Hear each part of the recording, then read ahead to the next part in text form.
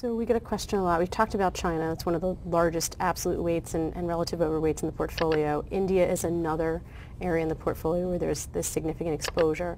And I have both the macro question, the country question, but I also want to tie this back to the holdings and how the portfolio is positioned. So um, we hear a lot about the potential, the, you know, the growth in India, the long-term growth opportunity, and that India is in fact the next China. I know you have a very differing point of view on that. Can you talk about, you know, kind of compare and contrast the, the two countries, but why you don't think India will be the next China, and really what if, you know, if the long-term growth opportunity is a little challenge there, how is the portfolio positioned? I know you invest in exceptional companies, but like to kind of dive into that a little deeper. So when I say India is not the next China, there is no next China.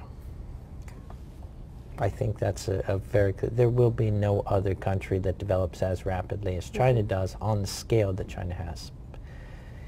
India, of course, is a proximate neighbor um, of China. It has relatively the same population it's an economy of about $2 trillion. China is an economy between 10 and 11 trillion dollars. So five times larger than India. So mathematically, is it possible that India actually outgrows um, China? It is possible in terms of growth levels off of a much lower base. You know, if China, if the leaders are de so determined to keep growth at 6%, but they can, well, whether it's appropriate or not is another issue, but whether if they do, is it possible that India could grow faster than that? They certainly did last year. But when you look at, you know, 7% growth in an Indian context on an economy of $2 trillion, that's $140 billion. When you're looking at 6% on the base of $11 trillion, you know, that's $660 billion, four times, the, the three, four times as, as fast.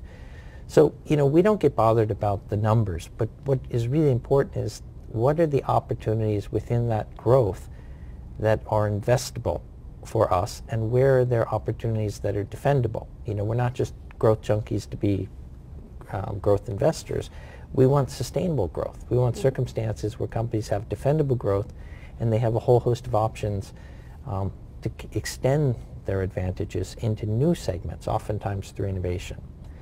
In the context of what we own in India, it's roughly half-half between the domestic economy and and exporters. And half-half meaning, you know, we have at the moment 13, 14% of the fund, uh, roughly in, yep. in India. A little, a little bit less, but yeah.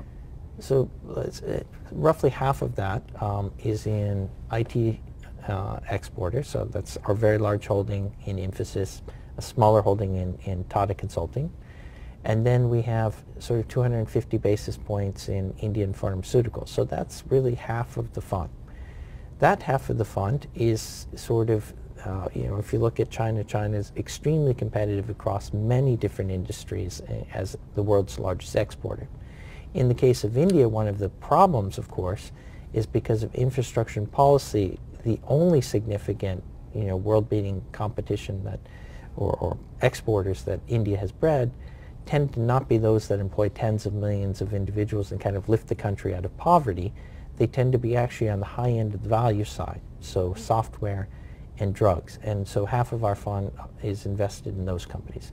And then the other half is concentrated in more India-centric businesses, the largest of which is our single largest holding, HDFC, the mortgage company that also is a conglomerate that has a, a holding in India's largest bank by market capitalization, one of its leading private sector insurance companies.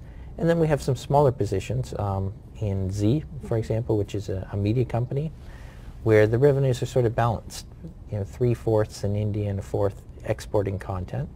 And then we've got much smaller holdings, things like Ultratech, um, that are, are entirely about India.